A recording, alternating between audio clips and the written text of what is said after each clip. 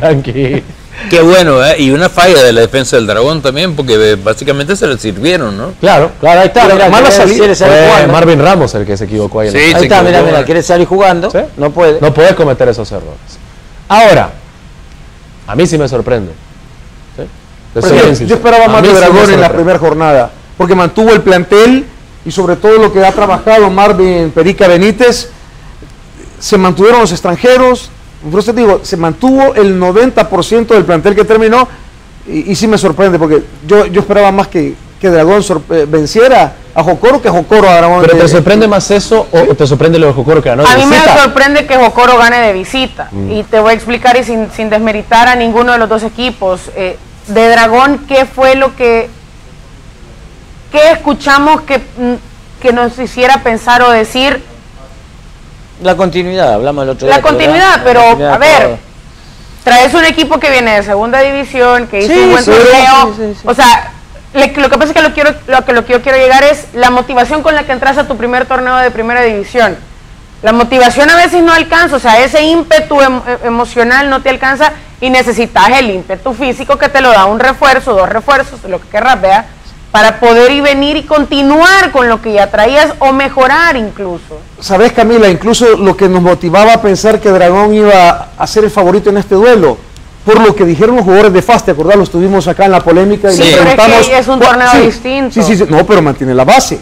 Por eso te el sí, 90%. mantiene la Pero base. por eso te Sí, pero ¿te acordás que decían los jugadores de Lo FAS? más mínimo. Los jugadores de FAS que vinieron acá dijeron, el equipo que más nos complicó en el torneo fue Dragón, porque te, te tapa los espacios y todo.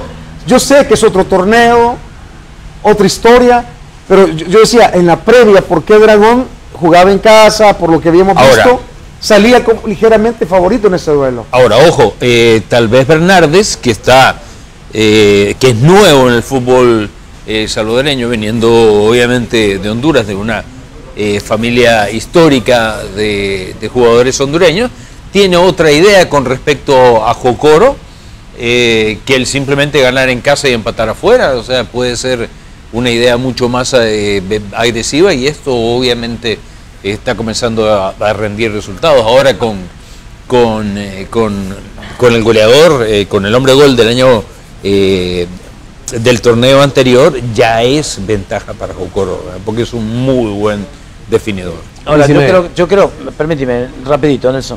O sea, creo que la primera jornada, el gol de Jocoro fue un error defensivo de Dragón. eh, no cambia absolutamente nada la idea de Dragón. Dragón el torneo anterior arrancó perdiendo, si mal no recuerdo, en la primera jornada Sí. también. Después hizo el gran torneo que hizo. Eh, pero, o sea, Jocoro estuvo en las finales. O sea, creo Es yo que, que también, también hay por que- eso no es de extrañar. por eso, por eso, hay que darle Sí. Y ojo que Es que Jocoro- nadie le está hay que darle- a mí me sorprende porque Jocoro no acostumbra a ganar de visita. Sí, y sí, eso es lo que me torneo. Hay que darle- varios torneos. Entonces, por eso, a mí sí me sorprende que haya ganado de visita, Ah, bueno. no porque sea un equipo desconocido. Y ah, porque pero es el nacional. también. Pero ojo, Dragón sigue siendo el mismo equipo. Totalmente. Tuvo para ganar el partido. Totalmente. Tuvo para ganar el partido. Insisto, jornada 1. Dejen que los equipos se vayan asentando. ¿sí? Sí, sí, No, eso claro. lo hemos dicho siempre. Que Se vayan cuarta, La única cuarta jornada y. La única diferencia es que ahora Jocoro es su campeón nacional. Bueno, y eso cuenta. Tengo una jugada acá que se pedía penal, el árbitro no pitó penal. ¿sí? Veamos esa jugada. Sobre Juan Carlos Argueta. ¿sí? Primer tiempo, acá viene el pelotazo largo, la salida del arquero. ¿Esto es penal? No, Ok. penalazo. ¿Dice que no? penalazo. Penalazo. Ok.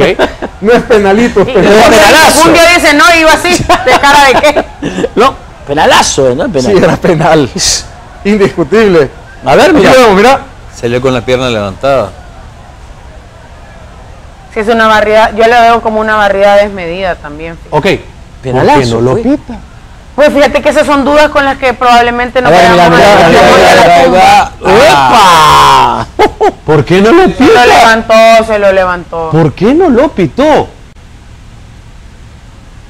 En ningún momento hay Y el con asistente que está desde el sector también tenía mejor visión. y no, y le llegó a, Sí, el a sugerir al árbitro principal. ¿Sabes qué? Creo que el asistente está un poquito lejos. Tiene que ser una, una, una visión 80-80, ¿no? No, pero, cuando va, cuando va el Sí. equipo a atacar, el, el- el asistente se Sí, corre. sí, yo sé, yo sé. Amén, Pero está amén. bastante un pero- Errorazo. Amén de que Aguilera ya el- había soltado la pelota eh, en el momento que le, que, que- que le caen con las dos. Errorazo. Y que, le- que- Sí, pues que- yo decía que, que le en ningún el salto momento hay un contacto con la pelota como para que digan hubo balón. Y entonces, Bueno. entonces, entonces que en resumidas cuentas, ¿qué podemos decir? Que el arbitraje en la primera jornada, Como los torneos anteriores. Tristemente era algo de lo que decíamos antes de que iniciara el torneo que esperamos y una de las cosas que decíamos acá era no tener que hablar del arbitraje. Primera Bueno, jornada. y ya- vamos a hablar de Metapan Chalat. ¿sí?